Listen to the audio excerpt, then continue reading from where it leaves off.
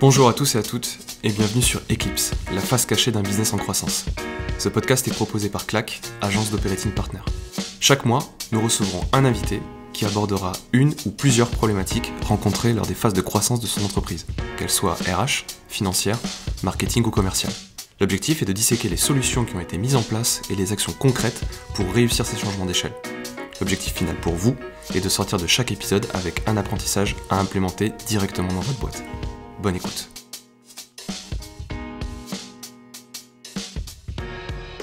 Johan Romain, je suis ravi de vous avoir aujourd'hui. Qu'est-ce que on va commencer euh, fort Est-ce que vous pouvez me présenter qui vous êtes et ce que vous faites aujourd'hui? Premièrement, je voudrais dire que là, c'est la deuxième prise que tu fais parce que la première, t'as pas arrivé à dire le mot podcast. Et t'as demandé à Paul de couper Podcast. et je trouve pas ça hyper fair play. Donc je pense que Paul pourra nous faire un petit montage où on Je- entend je- Kevin bégayer. Si vous êtes vraiment sage, on pourra faire un making of après. Ah, ça c'est cool. Donc ravi de vous avoir sur podcast. Sur ce Merci. podcast. Ah, il le refait, il le refait, voilà. Mais au moins on est authentique, ça va être un podcast authentique. Donc vous êtes qui Vous faites quoi? Je vais laisser la parole à Johan vu qu'après on va se la, beaucoup se la couper. Donc, je suis euh, Johan, euh, cofondateur de Melsinka.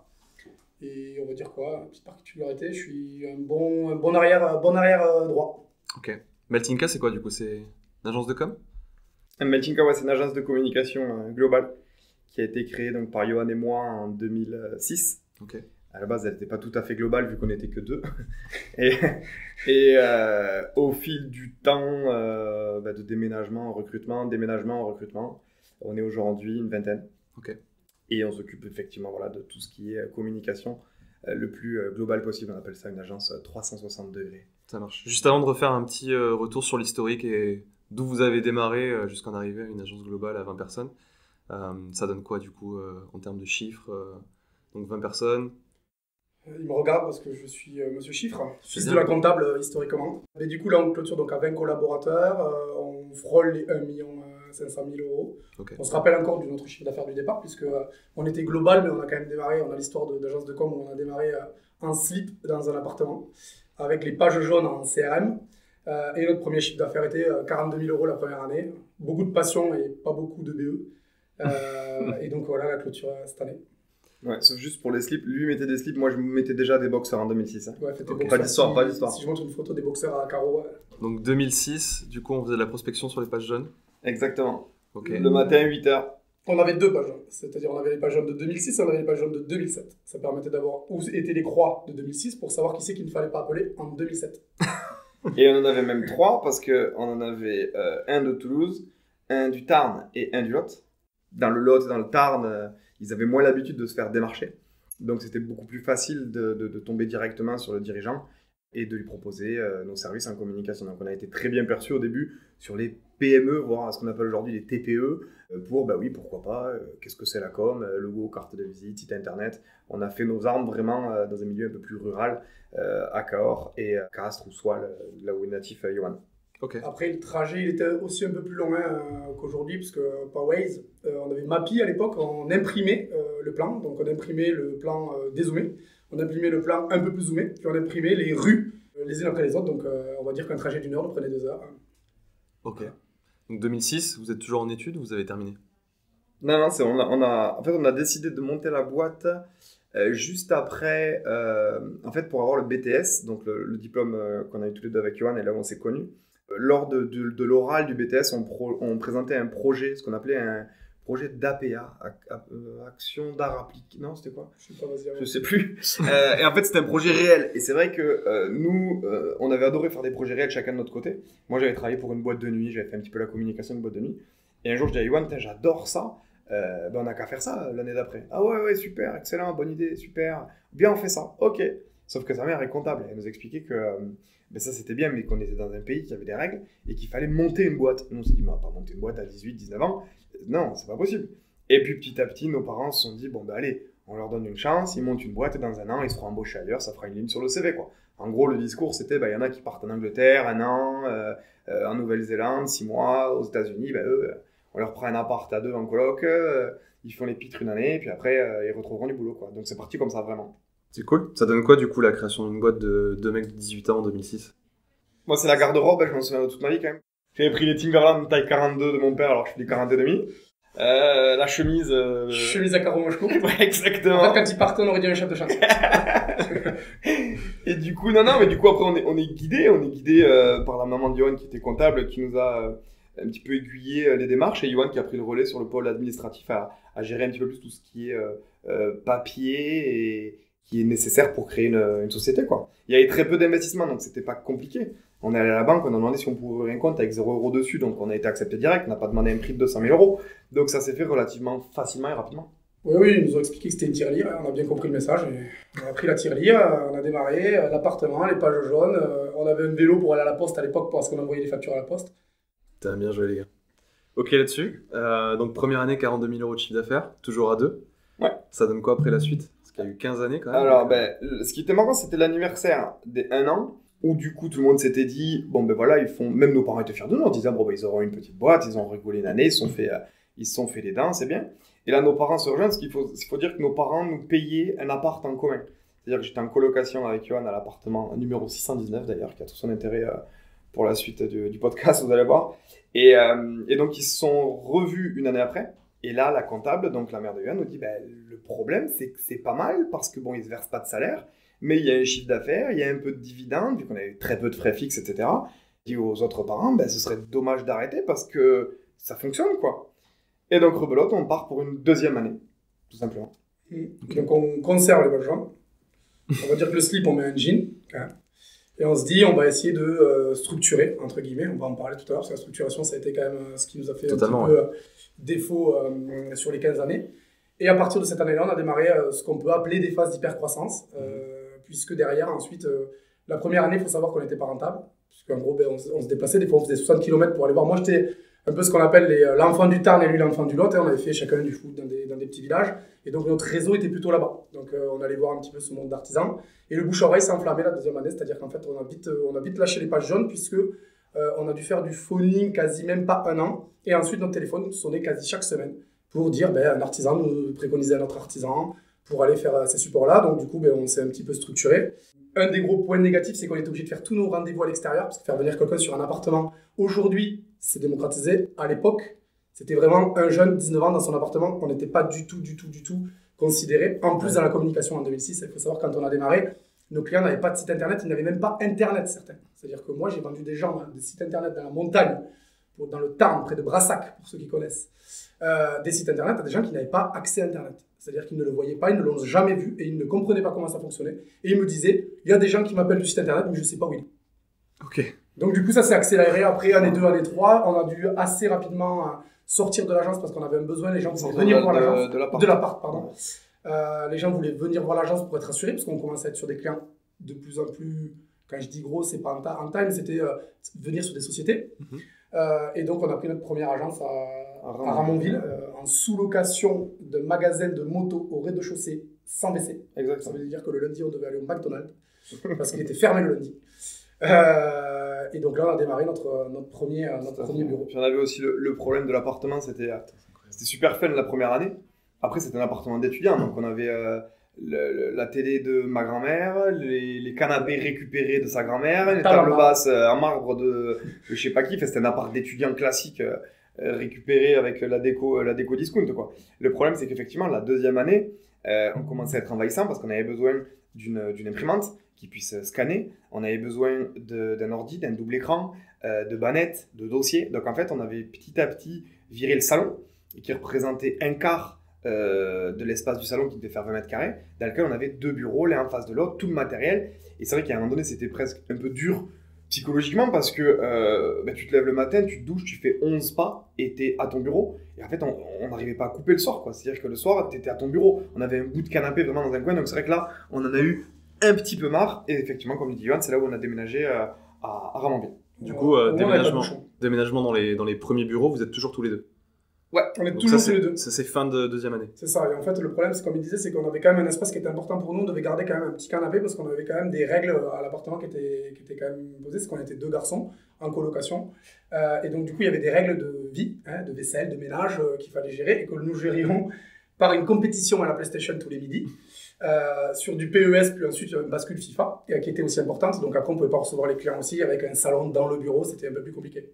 C'est quoi la première euh, grosse étape au-delà des- du déménagement de l'appartement dans les premiers bureaux C'est sur, le, sur le, Ouais, la première agence Ouais, sur le Toubi. développement, ouais. Toubi, moi je dirais, c'est un mot. Touki, c'est le surnom. Ouais, mais non, il y, a, il y, a, il y, a, il y a une photo, peut-être qu'on essaiera de la retrouver, si on l'a, où on était fiers, on l'a faite, on était fiers, c'était rigolo. C'était les premiers rachats euh, importants, genre 2-3 000 euros de matériel, où on a la table, la table à marbre. On avait racheté des ordinateurs, des écrans, fait un petit peu de matériel.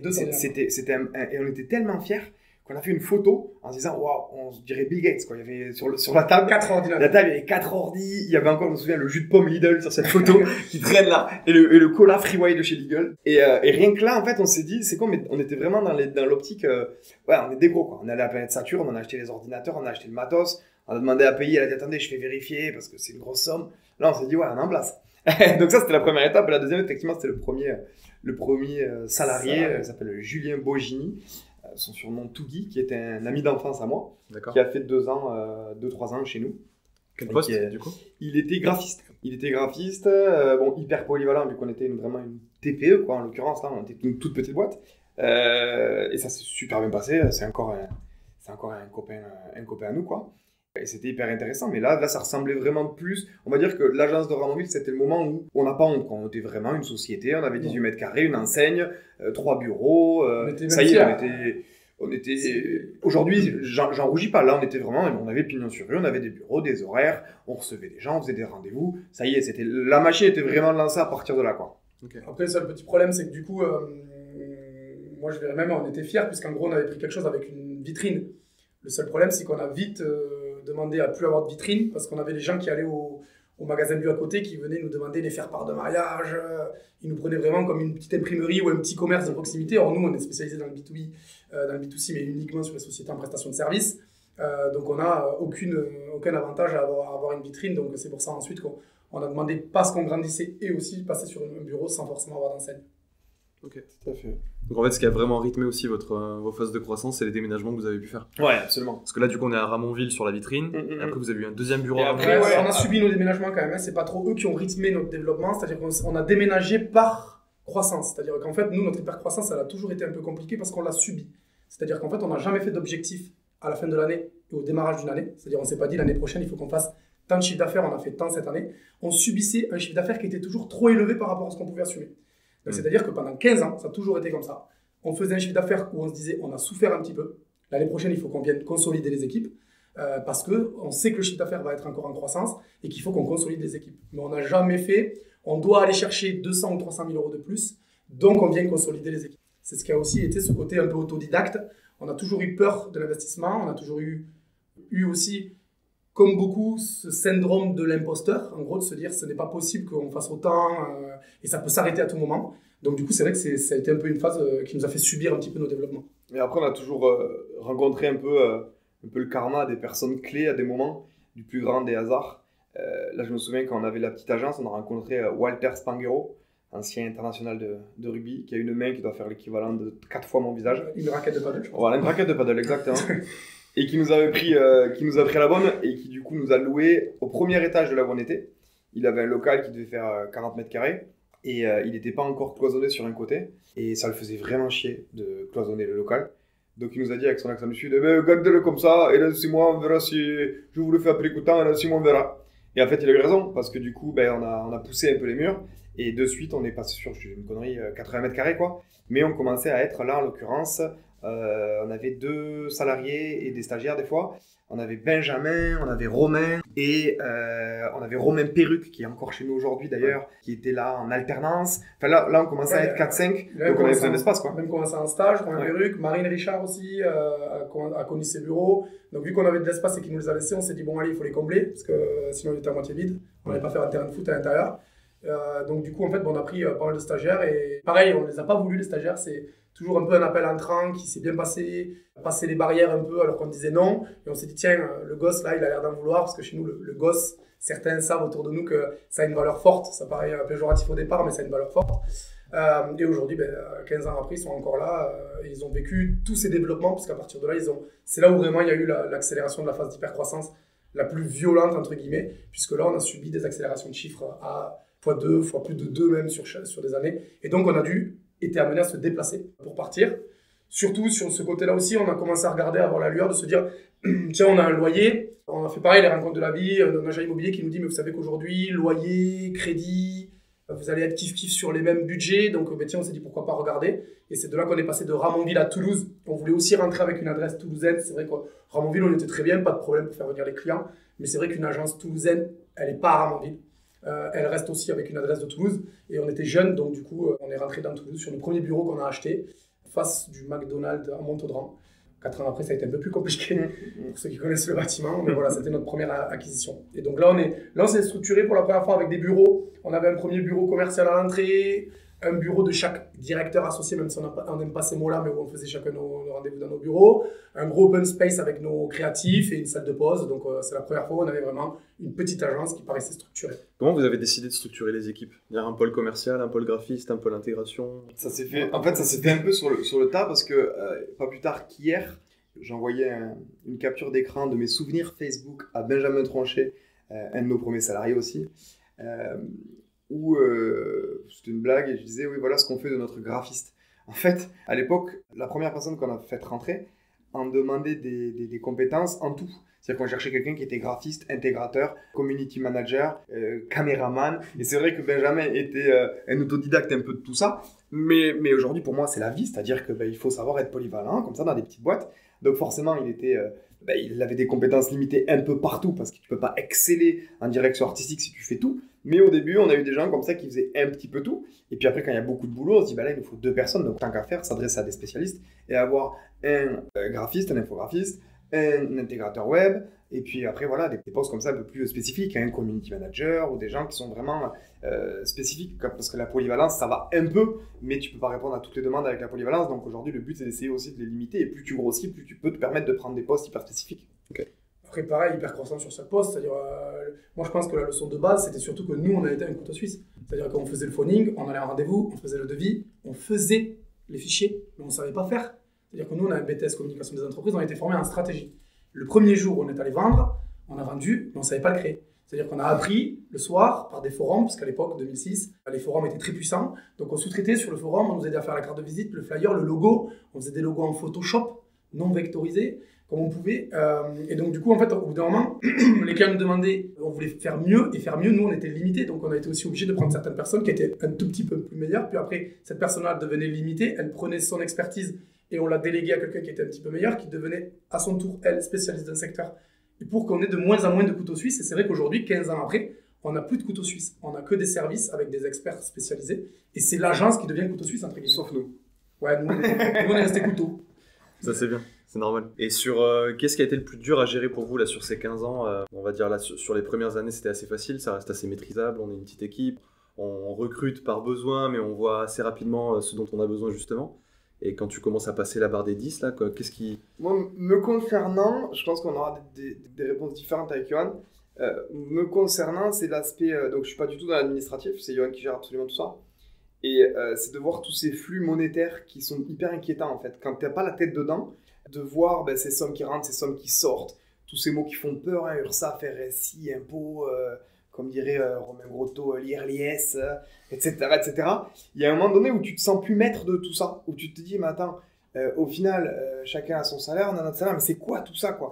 Et en fait, c'est l'impression où en peu de temps, tu peux tout perdre. En fait, je me suis, en 15 ans, en étant jamais à découvert, en ayant des résultats que positifs depuis 15 ans, j'arrivais chaque fois à me dire, eh, mais dans 6 mois, ça va être comment?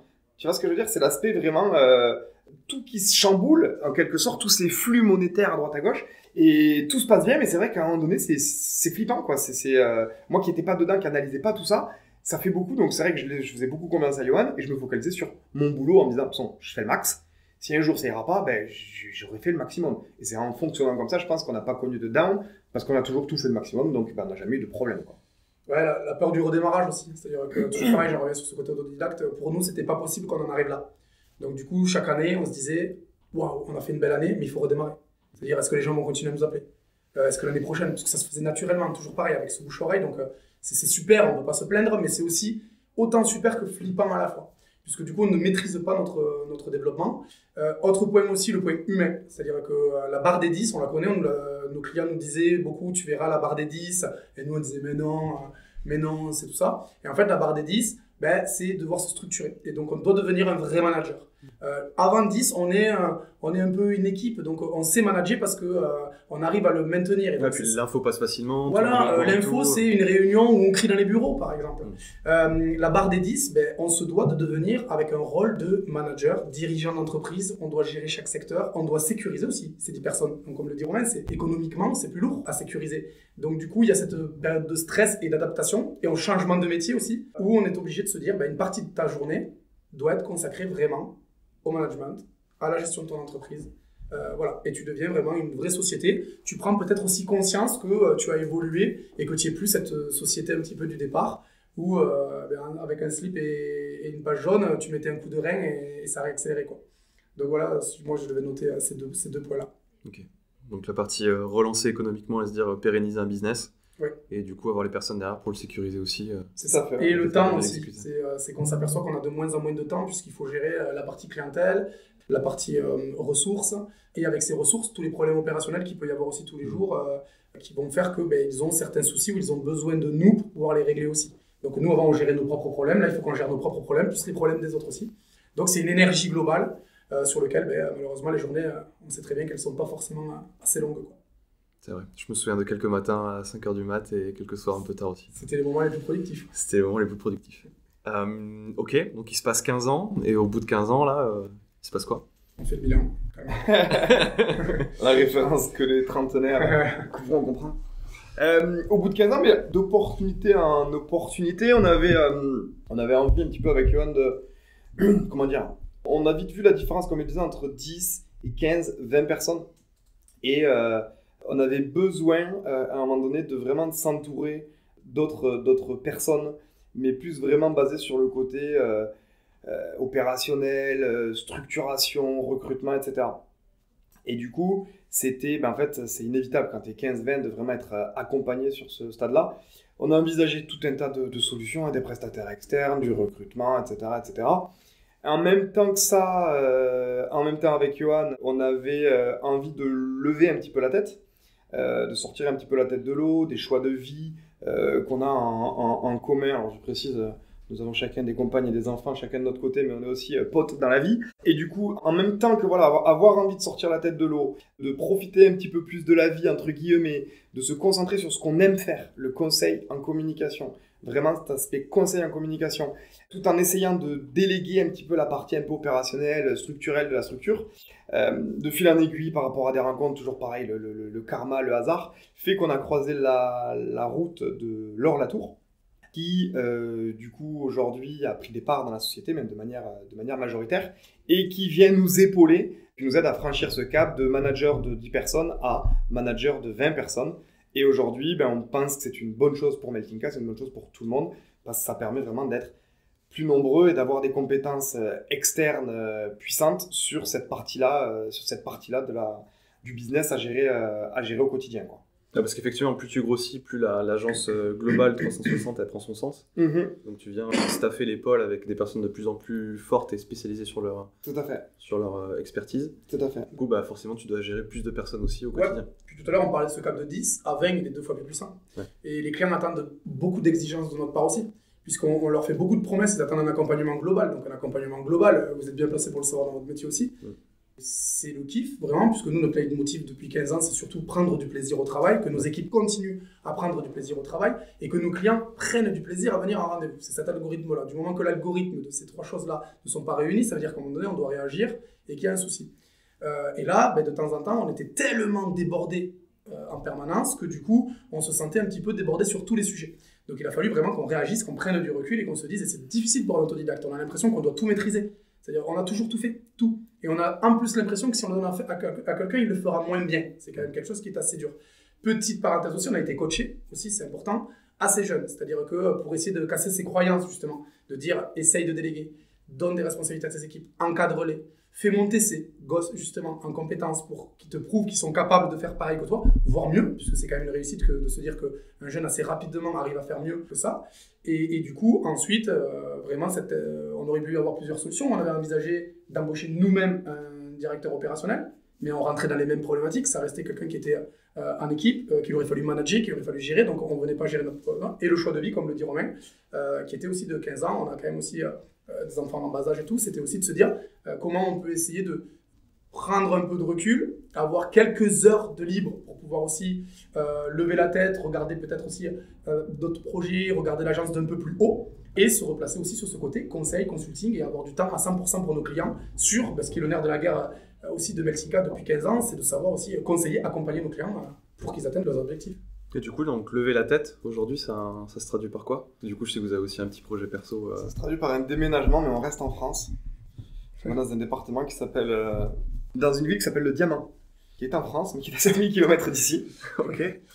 Et euh, effectivement, voilà, de, voyage en voyage, euh, donc un voyage entre potes, on s'est dit pourquoi pas. Il a peut-être eu un effet Covid aussi, dans le sens où c'est vrai que le Covid, ben, ça nous a forcé à rester un petit peu plus à la maison et à se rendre compte de choses simples et bonnes. De discussion en discussion, d'opportunité en opportunité, de coup de folie en coup de folie, de on le fait, allez, on y va. Et bien on s'est fixé un objectif, ça nous a pris quasiment un an et demi entre structurer la société euh, et après tout l'aspect, ben, là on n'y va pas seul, on y va avec des familles, etc. etc. donc il y a une grosse organisation. Et, et, puis voilà, on y va là le 31 mars. Donc je ne sais même pas si le podcast sera sorti, où est-ce qu'on sera encore. Normalement pas. Normalement pas, voilà. Donc quand vous l'entendrez, on sera déjà là-bas. Euh, l'avantage de ça, ce qui est super, c'est que quand. Petite parenthèse, du coup, c'est la Martinique. Hein, ouais, c'est la Martinique, bien sûr. Le diamant, je peux. Il y a des gens qui cherchent 7000 km, département français, c'est. La ville, le diamant. il fait Toulouse, Reims, Reims, Toulouse, Toulouse, Reims. Sur Google. non, non, ouais, en Martinique. L'idée, ce qui est par contre, ce qui est super bien, c'est que euh, depuis l'intégration et l'arrivée de l'or en février dernier, donc ça fait un petit peu plus d'un an, euh, on est arrivé euh, avec Johan à bien prendre notre rôle et d'accompagner l'or et Meltinka justement dans euh, les problématiques de, communication, dans l'accompagnement de clients, dans toute la partie euh, concept, la partie conseil, etc., etc. Donc en fait, vraiment l'essence même de notre métier et ce qu'on aime faire et là où on est bon, en plus, parce que comme le disait Johan, tout à l'heure on faisait tout, ok, mais faire tout, euh, recruter, gérer les congés, ben on le faisait mais on n'était pas bon parce que c'est pas notre métier. Donc là l'avantage c'est qu'on se repositionne sur le métier dans lequel on est bon, sur le métier qu'on adore faire et avec tout ce qui est mis en place aujourd'hui, ben, j'ai envie de dire merci le Covid, hein, mais s'habituer au télétravail, de s'habituer à la, visio, etc., etc. C'est rentré réellement dans les mers depuis le Covid. Euh, ben on va continuer à travailler de cette manière-là, sauf qu'on sera en Martinique. Alors, on va rentrer deux, trois fois par an, voir nos clients. Nos clients vont être obligés de venir nous voir, du coup, c'est très dommage pour eux. Euh, mais dans l'idée, dans l'idée, on continue sur ce rythme-là. C'est cool pour tout le monde, que ce soit pour nos clients, pour nos équipes, pour l'or. On n'y voit que du positif. Et puis voilà, après, ça c'est peut-être une histoire de deux ans, trois ans, on ne sait pas encore. Hein. Mais euh, on s'est dit que voilà, à 30, 35 et 36 ans, il faut, 37, ouais, pardon. Il faut, euh, si on a envie de tenter, il faut le, il faut le tenter, quoi. Okay. Puis en plus, tout s'est fait, euh, c'est pareil, on a été aussi, euh, là, on le décrit hyper fluide. Comme il a dit, c'est un an et demi, deux ans de travail avec pas mal d'embûches. Au début, c'était une blague, hein, presque Ça, je me souviens. Voilà, on est allé plusieurs fois là-bas, on s'était dit, tiens, ce serait quand même fou de faire ça, mais ça reste impossible en fait, hein, il y a tellement d'embûches. Et puis ça s'est fait aussi de manière fluide euh, avec Belgica surtout, puisque du coup, euh, on est resté quand même depuis euh, un an, un an et demi aux côtés de l'or, les nouvelles méthodes un petit peu justement opérationnelles, notre nouveau positionnement sur ce côté conseil, donc vraiment aujourd'hui dédié à 100% sur la montée en compétence des équipes l'assistance un petit peu des équipes en opérationnel pour que chaque fois qu'il y a un problème, il soit solutionné et qu'il soit autonome sur ces problèmes opérationnels. Et ensuite, nous, cette partie vraiment consulting, conseil, sur lequel on capitalise aujourd'hui 15 ans d'expérience. Donc, ben, une préconisation, elle nous vient en 10 minutes, non pas parce qu'on est meilleur que notre, parce qu'on a l'expérience en fait de tous ces dossiers que l'on a fait avec nos clients. Et ben, au bout d'un an, tout s'est fait de manière assez fluide où on se dit, euh, c'est logique, on est prêt, ça y est, on a même commencé, comme le disait Romain. Aujourd'hui, on a fait quand même, il y a eu aussi l'acquisition de bureaux sur les barreaux, sur un domaine pour vraiment faire un lieu, faire monter un peu en puissance catapulte aussi ce concept d'accompagnement global des entreprises et garder le bureau un petit peu aussi à Toulouse, donc avoir deux adresses Meltinka. Et donc, on a déjà travaillé depuis déjà des mois entre un bureau et un autre lieu pour être habitué à ce travail à distance. Quoi. Et comme le disait Romain, ce qui est bien, c'est qu'on conceptualisera nos plans com avec euh, un ou deux rendez-vous stratégie euh, en Martinique euh, avec Tipon Chauffeur pour avoir les chakras ouverts sur réfléchir sur la stratégie globale. D'alcool, on est sur LinkedIn. Ah, Avec une limonade. Petit poche. Bah, t'es même sur Spotify, Apple Podcast. Et... Ah ouais, c'est la, la, globale. Juste un dernier sujet pour, euh, pour clôturer, parce que du coup on pourra avancer sur plein plein d'autres sujets. Moi j'aurais aimé en parler avec vous euh, du coup de justement cet équilibre vie pro vie perso. Parce que tu arrives à 35, 37 euh, ans, tu, tu, te poses aussi des questions qu'on t'a cravaché pendant 15 ans, depuis tes 18 ans en slip dans un appart jusqu'à aujourd'hui 20 personnes avec une boîte qui passe le million. Euh, ce qui m'a toujours euh, fasciné aussi sur votre relation, c'est le fait que vous soyez potes dans la vie, associés au boulot, et donc en fait vous passez votre vie ensemble, et ça s'est toujours super bien passé. Là, pour la petite histoire, ils déménagent en Martinique, ils ont acheté deux baraques qui sont à 200 mètres l'une de l'autre. 50 mètres. 50 mètres l'une de l'autre, donc c'est pour dire, ils se, ils se quittent vraiment jamais. Comment vous faites, du coup, pour euh, bah, en permanence entretenir une relation d'associés et de potes euh, de la meilleure des manières possibles. On n'a pas le choix. Honnêtement, bon déjà après ça c'est la vie, tu t'entends bien avec un mec, tes potes, tes très bons potes, comment on a fait? On s'est rencontrés à 18 ans, on était sur un banc de l'école, on était une classe, on était 30, il y avait 4 mecs, euh, il y en a un, j'ai vu de suite que ça allait pas être mon pote, l'autre était complètement perché, il me reste que lui, on est deux, on est obligé de toute façon, hein. tu vois, on est là, on est deux, on va serrer les coudes. Hein. Finalement on avait des passions communes, on était chacun dans des milieux un peu plus ruraux, le foot, l'apéro, la bonne ambiance et les sorties nocturnes. Donc bon, ben, si déjà avec ça, tu as ces points communs là, normalement, tu arrives à passer des bons moments. Plus ensuite le business parce que ben, du coup on a fait le même euh, diplôme. Donc le secret, non, vraiment, c'est... Donc ça c'est pour expliquer pourquoi on est devenu potes. Le secret, c'est... Euh, et nous on le fait, les gens sont choqués. C'est qu'on peut être tendu au boulot à 17h moins 5 sur un sujet où on va s'engueuler, ça c'est des choses qui peuvent arriver parce que ben, c'est normal. Et à 17h02 quand on est terminé et qu'on dit, enfin à 18h02 quand on dit on va boire un verre c'est l'apéro, c'est une coupure nette. C'est limite, limite on devient d'autres personnes. C'est-à-dire qu'on peut vraiment mal se parler à 18h 10 et euh, être les meilleurs potes du monde à 17h10 en refaisant le monde sur des trucs de fou. Donc en fait, d'un point de vue euh, inconscient, on sait tous qu'il faut faire ça pour arriver à ça. Euh, et on le fait. Et puis après, on se parle. C'est-à-dire que s'il y a un problème, on s'appelle, on se parle, c'est quoi le problème? Pourquoi tu fais ça? Pourquoi tu dis ça? Ah ouais, il y a ça, il y a ça, et ça repart pour demain. Après, en plus de ça, on s'engueule très peu, et au final, ben, il n'y a, pas, y a eu jamais de... de, de Ce qui est marrant, parce que c'est quand même euh, deux personnalités hyper fortes. Ouais, mais euh, du on, coup, on nous pose tout le temps la question. C'est-à-dire qu'en fait, c'est vrai que c'est des choses qui choquent les gens de l'extérieur, mais nous, en fait, on ne s'en aperçoit pas. Donc on n'en est pas conscient, en fait, de, de cette... Alors on sait que c'est une force, bien sûr, Surtout qu'en plus, on est depuis le début associé à 50-50, hein, donc c'est très bien que ces associations-là, le moins de problèmes, là, on parle structurellement d'une société problématique. Euh, et d'ailleurs, on nous l'avait fortement déconseillé, ce qu'on a fait euh, sur les nouvelles structures, c'est qu'on l'a refait. Parce qu'on nous avait fortement déconseillé. euh, parce que pour nous, ben, en fait, c'est un leitmotiv, de toute façon, euh, quoi qu'il arrive. De toute façon, si on n'est pas d'accord, même s'il y en a un qui est pas d'accord plus que l'autre, on ne va pas continuer à collaborer avec des gens sur lesquels on s'entend plus, donc c'est vrai qu'effectivement. Il y a un autre truc qui joue aussi à notre faveur, et là, c'est pas du tout prétentieux. On a eu vraiment on a eu de la, énormément de chance aussi dans notre parcours, faut le savoir. On arrive dans un milieu de la com en 2006 où il y a tout à faire, on rencontre des personnes au bon moment, enfin, on a eu beaucoup de chance. Mais une des chances qu'on a, alors là, il y a un petit peu de travail aussi, c'est qu'on n'a jamais connu l'échec. Jamais on a eu un chiffre d'affaires qui était en diminution. Il a tout le temps été multiplié minimum par 1.2. On a minimum pris 20% par an et voir comme disait euh, Johan, des années, on a fait x2, x2,5. Donc en fait, quand tu connais pas l'échec, il y a moins de sources d'embrouille. Donc au final, jusqu'aujourd'hui, en 15 ans, on n'a eu aucun échec. Donc euh, bah, j'espère qu'on va pas avoir un échec l'année prochaine et qu'on va s'engueuler quoi. Mais c'est vrai que le fait de, de, quand même arriver chaque année à réussir un petit peu, d'atteindre nos, nos, objectifs, bah, il y a moins de problèmes. Les problèmes, ils arrivent quand il y a vraiment des gros, gros problèmes. Quoi. On n'avait pas de point de tension. Donc euh, voilà, et aujourd'hui, c'est important parce que, Kevin, tu le sais très bien, on que ça à nos clients. C'est-à-dire le positivisme amène le positivisme. C'est-à-dire que même dans le plus gros problème qu'on peut avoir dans un dossier, on dit au client T'inquiète pas, ça va aller. Même si au fond de nous, on se dit Il est dans la merde.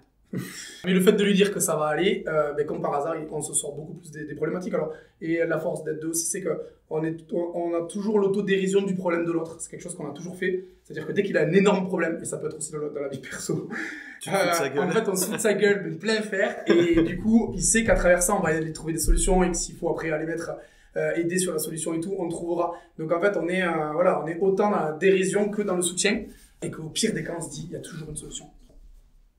Ok, très bien. Trois gros sujets que vous retiendrez des 15 années que vous avez passées, et qui pour des gens qui sont à peu près dans les mêmes phases de croissance que vous, ou qui ont rencontré les mêmes problématiques, des choses que soit que vous pourriez refaire, en disant, bah, si je devais revenir en arrière, euh, c'est vrai que la cinquième année, si j'avais pu... Déjà, moi, au départ, je referais la même chose, c'est-à-dire je me poserais pas de questions. Parce qu'aujourd'hui, je trouve qu'on se pose trop de questions. Alors attention, on ne dit pas qu'il faut refaire le même parcours que nous, parce que souvent on dit oui, venez témoigner au lycée, tout ça. On dit attention, parce qu'aujourd'hui, comme il disait, 2006, c'était pas le même marché. Ouais. C'était pas la même concurrence, c'était pas les mêmes embouteillages. Donc aujourd'hui, euh, refaire la même chose, mais en tout cas, partir dans un kiff, tel qu'on est parti en se disant à 18 ans, on risque rien. Ouais. ouais. Bien sûr, tous les conseils de base, euh, de bosser, de bien s'entourer, de, de, soigner son réseau, d'être humain, honnête et tout, bien sûr. Et moi, il y, a une phrase là que, que j'ai lue il y a 2-3 ans, c'est un peu mon, mon leitmotiv, et c'est ce que j'applique au quotidien. Alors ça peut paraître un peu poétique, à la citation entre guillemets, en gros sur LinkedIn, mais c'est vrai que honnêtement, ouais, il est un peu loin, il va falloir, une cuisse.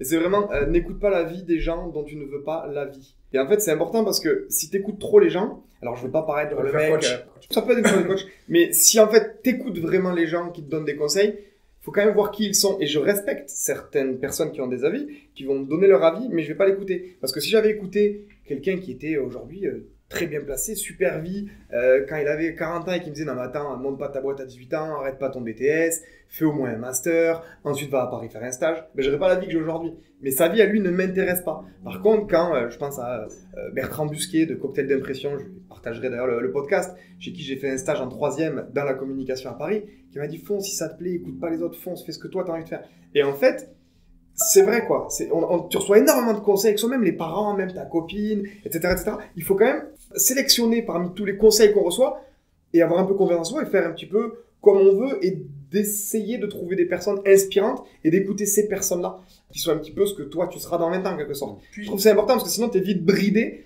à faire comme tout le monde, les études, un gros diplôme, on écoute le stage, non, ça c'est pas sérieux, on fait pas ça, il m'a dit de pas le faire. Voilà, écoute pas la vie des gens dont tu veux pas la vie, tu respectes, mais écoute pas forcément tout, sinon tu feras rien. Il n'y a pas de moment pour bousculer. On l'a fait à, on fait à 18 ans et là on a l'impression qu'on revient sur redémarrage. Quand tout à l'heure Romain parlait de 619, 619 c'est le premier appartement. Pour nous c'est presque un redémarrage et aujourd'hui on fait ce choix de vie de partir avec deux gosses, deux femmes à 7000 km. Alors que quand on le dirait aux gens, ils se disent tous ah beau projet, mais on sent quand même aussi le côté de dire il est pas dans le moule. Le moule c'est pas de faire ça en fait normalement. C'était de rester euh, à Toulouse peut-être et de travailler aux côtés de Meltinka et de euh, continuer la vie telle qu'elle est aujourd'hui. Sauf qu'on sait qu'il y a un gros risque à faire ça mais on a vraiment envie de le faire, on prend du plaisir à le faire et que là-bas, on, sait quand même que c'est une mission. Ben, le leitmotiv numéro un, ce sera le plaisir. Il m'a flingué ma fin du podcast parce que je trouve que finir sur la citation, ça faisait vraiment un cali quoi. Tu vois. Ouais, coup, je, je, je peut-être. N'écoute pas la vie des gens dont tu ne veux pas la vie. Point. Bye. Clac. Nickel. Merci beaucoup, les gars. Merci à vous. C'est super intéressant. C'est la fin de cet épisode. Merci pour votre écoute. Si cet épisode vous a plu, vous pouvez le partager à votre famille, vos amis, vos collègues et nous suivre sur les réseaux sociaux Eclipse Podcast sur LinkedIn et Instagram. Merci et à très vite pour un nouvel épisode.